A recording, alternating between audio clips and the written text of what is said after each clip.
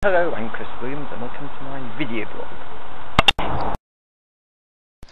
One of my regular viewers has written in to ask me what my opinion is on drugs. Well, I was thinking I would talk about my opinion on drugs while I show you around my house of multiple occupancy here in Cardiff.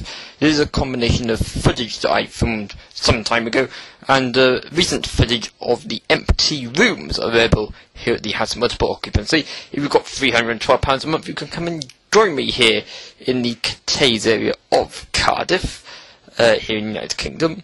Right, so my opinion on drugs. I haven't really got an opinion on drugs, but I don't take drugs. But as I've been invited to give an opinion, I think I will say that drugs are bad, and of course there are laws in place to stop you taking drugs, but they can kill you. But uh, obviously there are different categories of drugs, uh, some more deadlier than others. Uh, those in Britain where Professor David Nutt, the uh, government advisor on drug policy, resigned because he said that uh, the media and the government were saying that some drugs, like uh, cannabis I think it was, are more dangerous than what they really are. He claimed that uh, alcohol and tobacco are even more deadlier. I do agree that uh, alcohol is deadly. I had a relative who uh, died of alcohol poisoning after sampling their first taste of alcohol. That's why I don't drink myself. Uh, so I think that if you are to be jailed for taking drugs, then you should be jailed for drinking alcohol because that's not how the rules work. And because uh, loads of people are so addicted to alcohol that uh, they would be appalled at uh, such a policy. So uh, the person who wanted me to give my opinion on drugs, they they particularly want to know what my opinion is on uh, drugs and the law. Well, I know some people take drugs for medicinal purposes, and that should be allowed. I agree that that is okay. But I such people have have been uh, jailed for taking the drugs as their medication.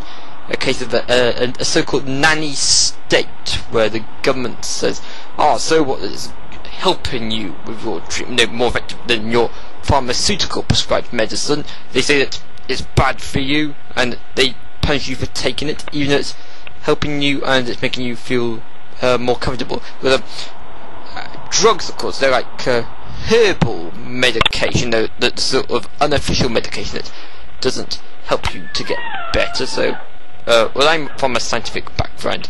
Uh, I'm not completely sure uh, what the there is any guarantee that taking drugs is good for your health. Anyway, um, so yes, we're looking around the empty properties here in my accommodation, and of course there is a smoking area outside in the uh, garden car park, where I think you have to pay £50 a year to have a special permit to park in the garden car park in a reserved parking slot.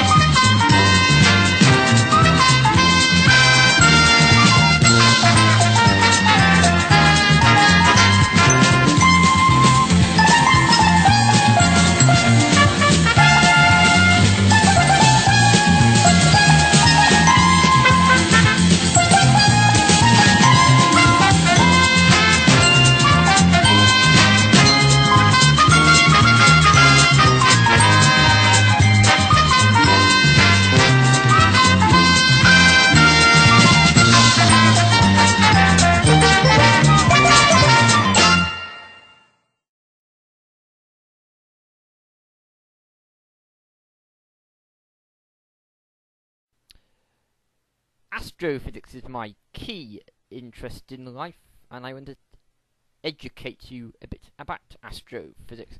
And I think the topic I will start off with is uh, accretion disk physics. Right, now let me illustrate it with some very basic objects. An accretion disk is a disk around a massive star, and the disk, the, the material in that disk is taken from a smaller body, a smaller star, you tend to have binary stars orbiting around each other. The central star is sometimes a black hole, other times it's a more massive star. And so you end up with a disk. I, I've, this is the let's have a spot of fun with this. Uh, they're trying to illustrate with everyday objects, right?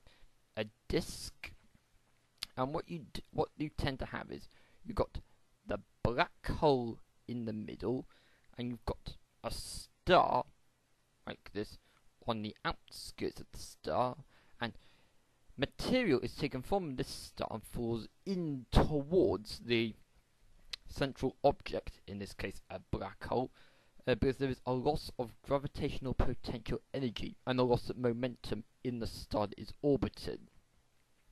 And what tends to happen is that the star enlarges itself.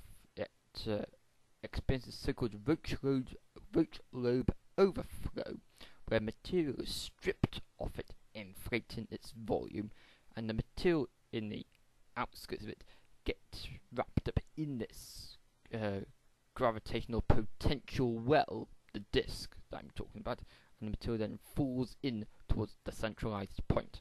And that is the concept of black hole surrounded by an accretion disk with a star on the outskirts supplying the accretion disk material. of course, the object in the center doesn't get any larger, but it's it becomes more luminous because of the disk surrounding it. More material being added to the disk as time goes on, and the star on the outskirts decreases in volume and completely disappears after a while. And such stars which lose material too readily, you know, when material just blown off, are known as Wolf-Rayet stars. And of course, there are many other ways in which stars can be destroyed and where accretion disks occur, but that will be the topic of another blog, which I'll be doing at a later time.